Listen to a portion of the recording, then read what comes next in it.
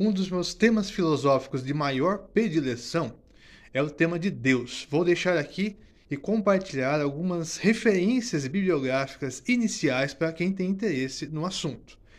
Começamos com Natureza e História Deus, do filósofo Xavier Zubiri.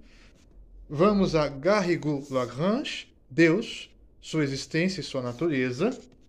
Também Etienne Gilson, Deus e a Filosofia. Um livro organizado por Giorgio Penzo, Deus na Filosofia do século XX. Temos também Os Filósofos e a Questão de Deus, de Yves Arca e Luc Langlois, organizadores. Temos Batista Mondin, Quem é Deus? E por fim, temos Deus no Pensamento Filosófico, de Emery Coet. Espero que estas sejam recomendações bastante úteis para todos.